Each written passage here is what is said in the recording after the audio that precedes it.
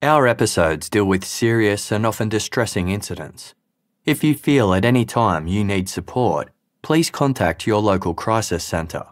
For suggested phone numbers for confidential support and for a more detailed list of content warnings, please see the show notes for this episode on your app or on our website.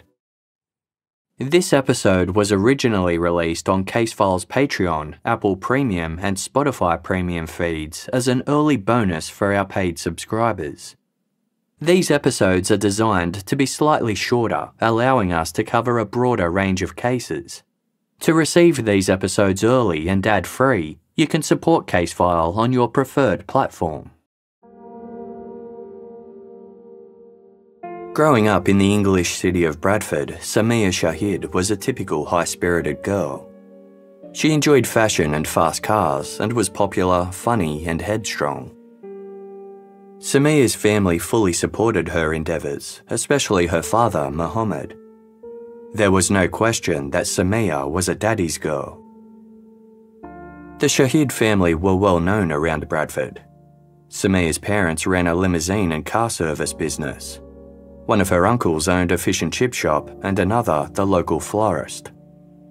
The Shahid family tree also extended to their ancestral home of Pandori, a small village in the Punjab region of Pakistan.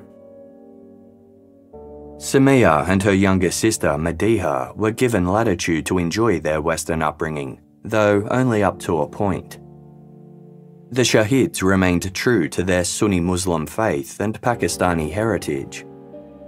In 2012, as Samia reached her mid 20s, her parents felt it was time for her to settle down and marry. Although arranged marriages weren't required by the Sunni faith, they were encouraged, if not expected, through Pakistani tradition. Samia wanted to make her family happy and proud and was open to the idea. Muhammad Shahid chose a man named Chaudhry Shakil to be his daughter's husband. Samia was less than enthused. Shakil lived in Pandori and had just been released from prison for a non fatal shooting of another man over a land dispute. He was also Samia's first cousin. Marriages between first cousins in the British Pakistani community weren't uncommon. Samia's parents were first cousins and had an enduring and loving marriage. They just wanted what they thought was best for their daughter.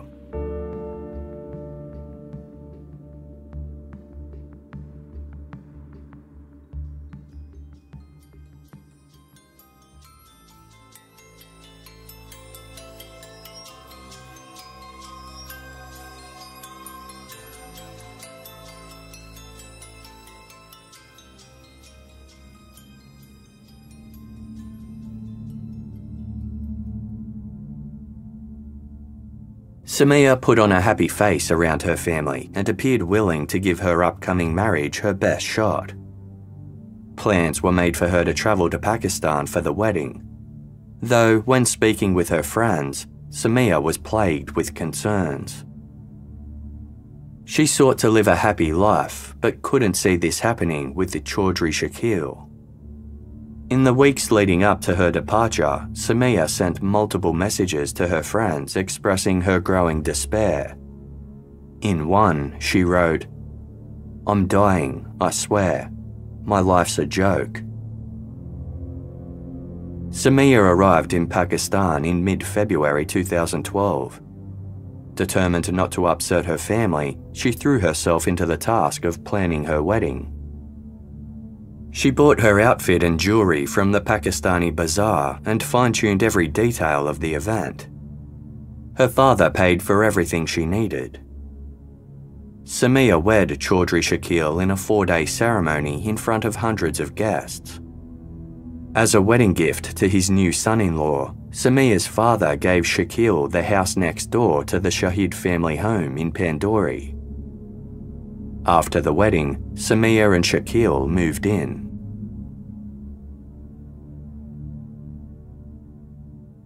Four months later, in June, Samia returned to Bradford without her new husband.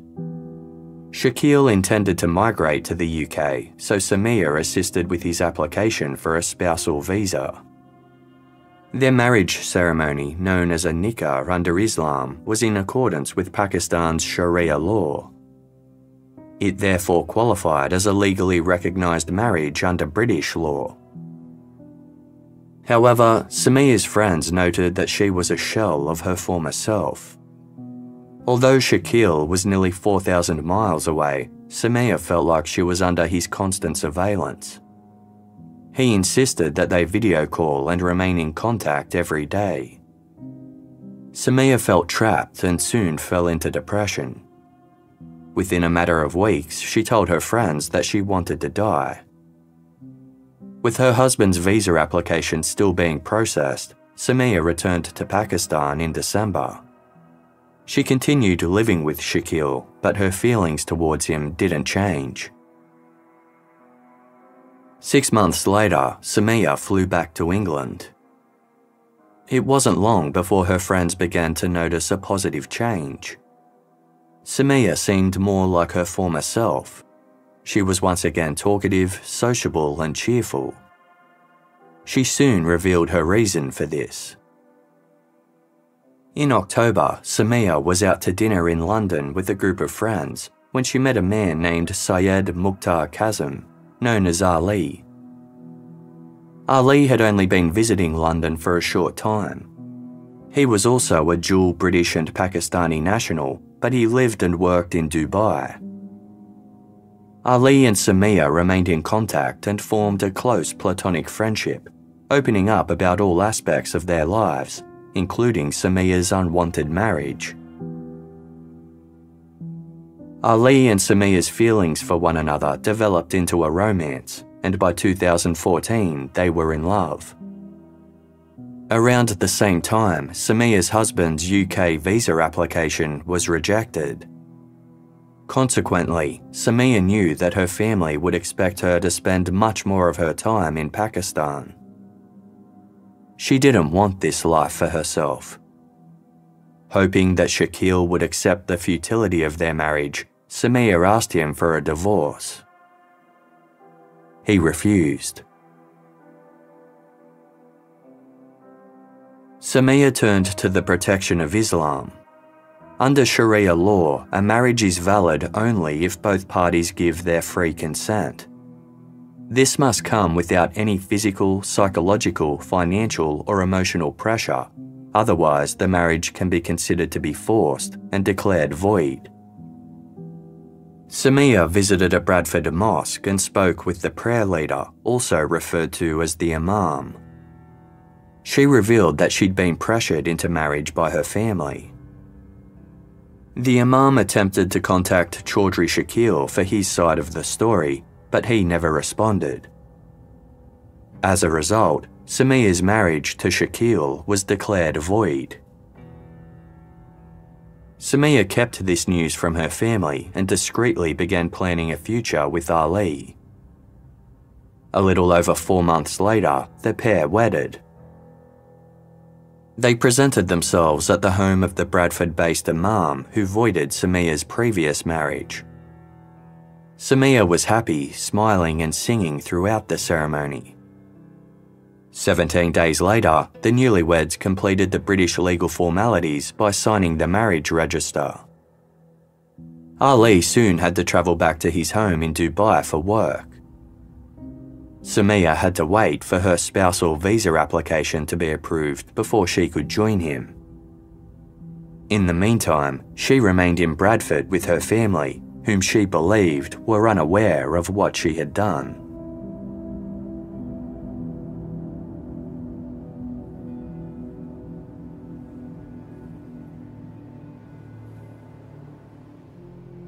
Just over a month after her marriage to Ali, Samia was walking through town one night when a man approached. He wielded a metal bar which he smashed across Samia's legs. By the time Samia was taken to hospital, large red and purple bruises had formed across her thighs. She understood that the secret about her marriage to Ali was out. The attack on her was an act of retribution. At the same time, the Imam who officiated Samia and Ali's wedding was warned that there would be consequences for his involvement. The threats had arisen from the Shahids, Samia's own family. Over the coming months, they ostracised Samia further, with her mother throwing out all of her belongings. The Shahid family also began threatening Ali, demanding he cut ties with Samia. The police were informed and acted accordingly, but the animosity between Samia and her family continued to grow. She became more frightened for her safety. In late May 2015, eight months after her wedding to Ali, Samia received her spousal visa. She fled to Dubai the very next day. Samia's happiness was evident in photos and updates she sent back to her friends in the UK. Yet, the absence of her family weighed heavily on Samia. She reached out to her family nearly every day, asking for forgiveness. While Samia's mother and sister sometimes responded to her messages, her father ignored her completely. His silence hurt Samia profoundly. When Ali tried to appeal to Muhammad Shahid, he just demanded that Ali ended the marriage to his daughter. Ali refused. Samia and Ali wanted to have children. With this in mind, Samia returned to Bradford to extend the olive branch to her family. Her mother collected her from the airport and brought her home to see her father and sister. Samia kissed her dad and begged him for forgiveness. Everyone was in tears, and for a fleeting moment, Samia hoped that she would be welcomed back. However, the Pakistani traditions of family reputation and respect were deeply upheld by Muhammad Shahid and his extended family. In their eyes, Samia had brought great shame on the family by marrying Ali. Not only was he from outside the family, he wasn't even a member of the same faith. Samia's family was Sunni Muslims, whereas Ali and his family were Shia Muslims. A bitter and violent split dating back 14 centuries exists between the Sunnis and the Shias over who should succeed the Prophet Muhammad as the leader of the Islamic faith. In another perceived slight to her family, Samia had converted to the Shia Muslim faith prior to marrying Ali. Muhammad Shahid outright rejected his daughter. In a voice message left for Ali, Samia said, The parents that I cried for while I was away are mine no more. My kids will never see them, never hear them. I'm broken. That's it. My only pride is you and you alone.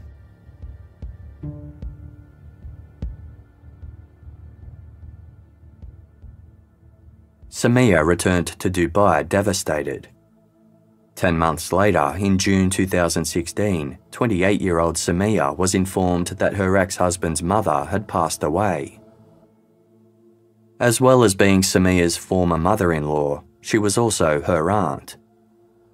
The pair had been markedly close during Samia's time in Pakistan. Samia desperately wanted to attend the funeral service in Pandori. Her parents and sister would also be there, granting her the opportunity to see them for the first time in almost a year. However, the trip was fraught with risk. Threats and attacks made against Samia in the UK for her alleged blasphemy had been restrained by prevailing Western customs and British law. It was different in Pakistan. When a person brings shame upon their family, millennia old Pakistani tradition dictates that honour can be restored by male family members murdering that person.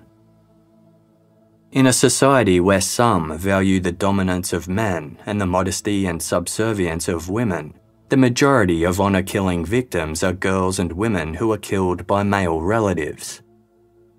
In Pakistan, many actions can lead to family dishonour, including when a woman marries against her family's wishes. Although forbidden under Sharia law, the practice of karokari, or honour killing has continued in Pakistan, especially in rural areas. Samia knew that travelling to Pakistan would put her life in danger. Her ex husband, Chaudhry Shakil, still lived there, and he and his family would no doubt have strong feelings about Samia's perceived indiscretions. After mulling it over with her husband Ali, Samia decided that it wasn't wise for her to go to Pakistan. Several days after her aunt's funeral, Samia received word from her mother and sister. While they were in Pakistan, Samia's father had suffered complications in relation to his diabetes. His health had taken a turn for the worse, and they feared he didn't have much time left. Samia's family encouraged her to visit him. Despite the painful rejection, Samia still loved her father Yet, she remained uncertain if Pakistan was safe for her. She messaged a friend I want to go, but I have no assurances. While Samia's husband and friends agreed that she would likely never forgive herself if her father died without her by his side, they were adamant that she would be risking everything by returning to Pakistan. Samia made her decision. Her sister booked her a plane ticket, and on Thursday, July 14, 2016, Samia boarded her flight to Pakistan. Before she left, she messaged a friend asking her to, quote, pray I come back alive. Samia's friend responded with one word, Inshallah, meaning God willing.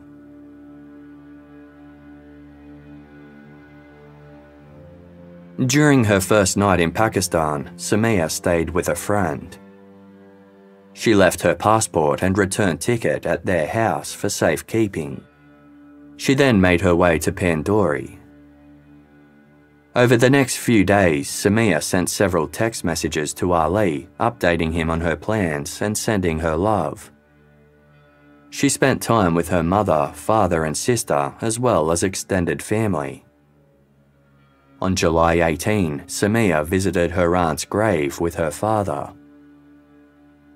Around noon on Wednesday, July 20, she went to the Pakistani bazaar to buy food for dinner. She messaged Ali, Flying out tomorrow. Hope all goes well. Insha'Allah.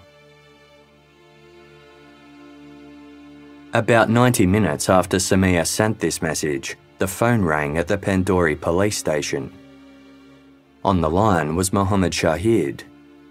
He was distressed and crying, and he informed the answering officer My daughter has died. My daughter has died. Police were directed to go to the home of Chaudhry Shakil, where they found Samia Shahid lying motionless on her back at the foot of the stairs. Her scarf was covering her face. Police lifted it away gently, revealing that Samia's eyes were closed and froth had formed around her mouth. She was clearly deceased. Her slip on shoes were scattered nearby and her handbag had been placed by her feet. Chaudhry Shakil was not at the scene and no one knew where he had gone. Later that evening, Ali Kazim received a phone call from Shakil who informed Ali that Samia had suffered a heart attack and died.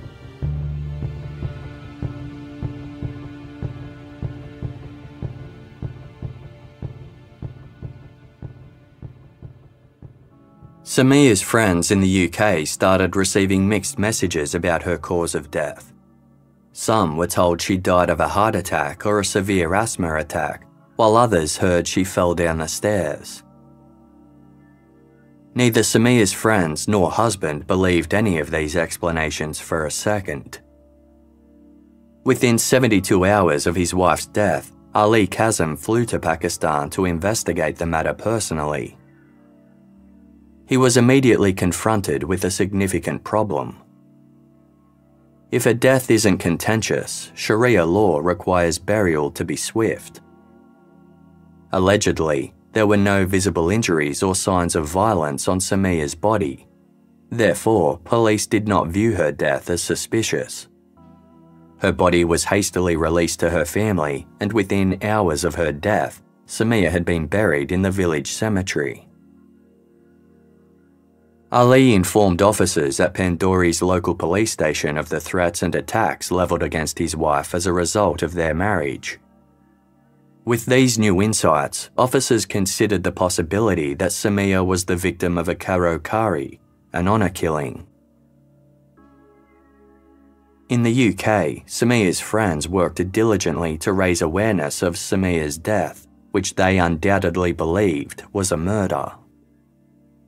News of the case reached the local Member of Parliament for Samia's constituency of West Bradford, Naz Shah.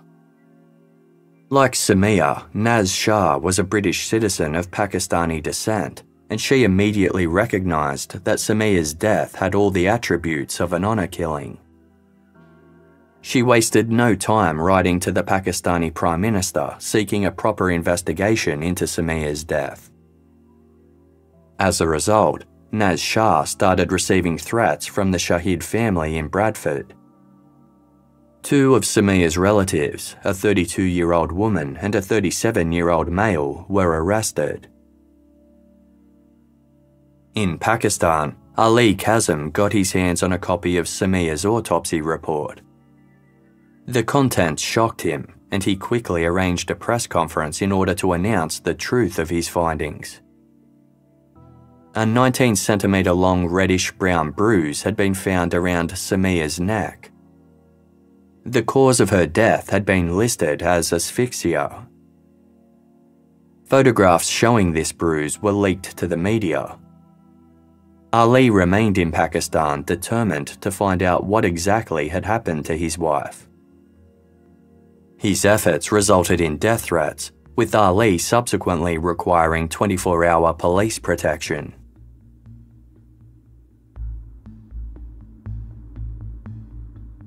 The rising political pressure resulted in a special task force being established to investigate Samia Shahid's death. In mid August, weeks after she died, the task force tracked down Chaudhry Shakil. During interrogation, Shakil revealed that the morning before Samia was due to depart Pakistan, he rummaged through her belongings in search of her passport and flight ticket. Unable to find them, he confronted Samia and tried to pressure her to remain in Pakistan with him. When she refused, Shakil raped her. Traces of seminal fluid inside Samia's body were found to match Shakil. After her ordeal, Samia tried to run out of the house, but Shakil chased her down and strangled her to death with her own scarf. Shakil was adamant that he had acted alone, but police weren't convinced. When they arrived at Shakil's home the day Samia was killed, they were met with Muhammad Shahid. He outright told police that his daughter had died of a heart attack and kept this story up until Ali Kazim held his press conference revealing Samia's autopsy results. Muhammad then revised his previous statements to say that Samia had suicided. Muhammad had told police at the scene that Samia was married to and lived with Chaudhry Shakil. He made no mention of Ali Kazim at the time, later claiming that he had never even heard of Ali. With his story failing to add up, Muhammad Shahid was taken into custody believed to have at least been an accessory to his daughter's murder.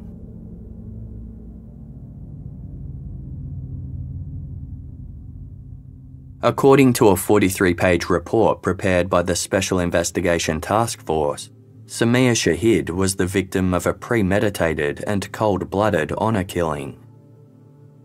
Her family had felt disrespected by her attempt to divorce Chaudhry Shakil and were further dishonoured when Samia instead married a man who wasn't a Sunni Muslim.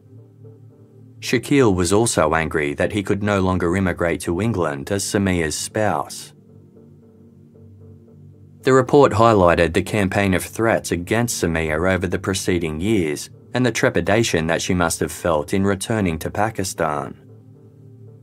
Investigators believed that Mohammed Shahid and Chaudhry Shakil had always intended to bring Samia back to Pakistan. They likely intended to persuade or otherwise force her to resume her marriage to Shakil. When she refused and tried to escape Shakil's home, Samia was likely confronted by her father.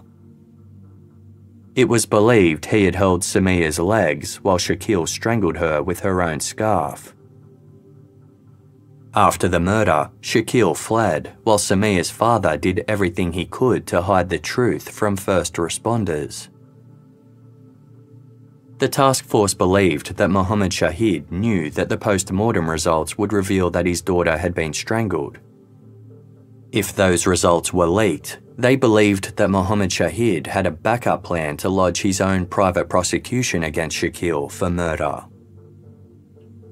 Deeply rooted in Islamic law and codified by Pakistani's penal code is the concept of retributive justice, known as qisas. However, it is possible to circumvent such an eye for an eye approach through a diyat, a payment in lieu of punishment. Muhammad Shahid would have been able to renounce his right to have his daughter's killer sent to prison or possibly executed if the killer instead paid him financial compensation. This loophole is often utilised in honour killings. Muhammad and Chaudhry Shakil likely planned to use these, quote, blood money laws to pardon Shakil for killing Samia. The task force report noted that the collusion between Shakil and Muhammad Shahid was almost the perfect plot. Had it not been for Ali Kazim's immediate determination to uncover the truth, they would have gotten away with murder.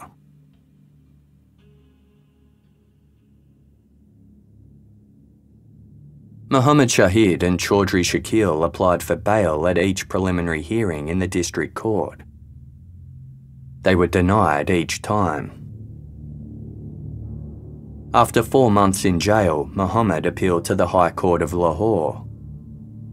The judges determined that there wasn't enough evidence against him to justify his continued custody. The state prosecutor appealed to Pakistan's Supreme Court, however, the court upheld the ruling. Mohammed Shahid was released. The case against Chaudhry Shakil was much stronger, but not watertight.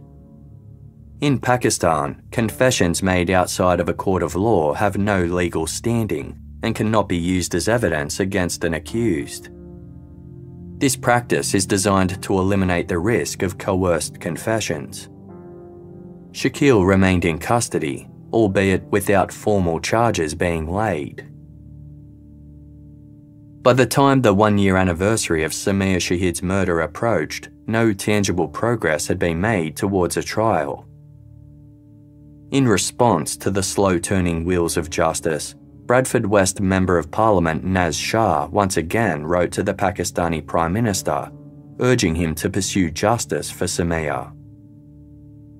Naz Shah received the appropriate assurances, but still nothing seemed to be done. Six months later, in late January 2018, Mohammed Shahid was hospitalised. He succumbed to kidney failure and passed away. Neither Muhammad's wife, Imtiaz Bibi, nor his daughter, Madiha, were at his side when he died. A warrant was out for their arrest in Pakistan. The task force fronting the investigation into Samia Shahid's murder had reviewed the possibility of others being involved. They had come to believe that Samia's mother and sister played some ancillary role in Samia's death. But when they tried to bring them in for further questioning, they discovered that both women had fled back to the UK. In 2018, Samia's sister, Madiha, granted an exclusive interview with British tabloid Asian Express. In the interview, she expressed her family's ongoing belief that Samia's marriage to Chaudhry Shakil was legal and not forced. Madiha said that she and her family were emotionally torn and couldn't understand Samia's sudden death. She referred to it as a tragic accident, while claiming the photographs showing the strangulation mark around her sister's neck were fake. Madiha proclaimed that she and her family were innocent and that their lives had been ruined by, quote, a false narrative calling this an honour killing from the outset. Imtiaz Bibi and Madiha Shahid are still wanted for questioning by Pakistani authorities. Investigators also found evidence implicating local police officer Mohammed Akil Abbas in covering up the crime. Abbas was one of the first officers on the scene after Samia's death. It is alleged that he had accepted a bribe from Choudhry Shakeel in order to let him flee the crime scene. Abbas had also concealed the presence of the large strangulation mark around Samia's neck. Additionally, he'd helped Samia's mother and sister leave Pakistan, despite specific instructions from his superiors not to let them go. 11 weeks after Samia's murder, the Pakistan Parliament passed a bill to close the blood money legal loophole with regard to honour killings. The new bill amended the Pakistan Penal Code so that the family of an honour killing victim could no longer entirely forgive the perpetrator on receipt of financial compensation. Instead, the perpetrator would face a mandatory life sentence. In September 2018, after having spent two years in police custody without charge, Choudhry Shakeel was released on bail. He was permitted to live freely within his community while awaiting trial. A year later, Shakeel remarried. Like Samia, his wife was British Pakistani, and Shakeel once again applied to immigrate to the UK under a spousal visa. Bradford West Member of Parliament Naz Shah again wrote to the Pakistan Prime Minister, as well as the British Home and Foreign Secretaries. She labelled the potential for Shakeel to be allowed entry into the UK as extremely worrying and potentially dangerous. Shakeel's application was unsuccessful. Every year since, Naz Shah renewed her appeals to both British and Pakistani authorities to encourage progress in the case against Shakeel. Promises have been made, but no action has been taken. In July 2022, six years after Samia's murder, Naz Shah posted online Sadly, after years of fighting for this case, I think there is little hope that the justice system in Pakistan will ever give Samia the justice she deserves.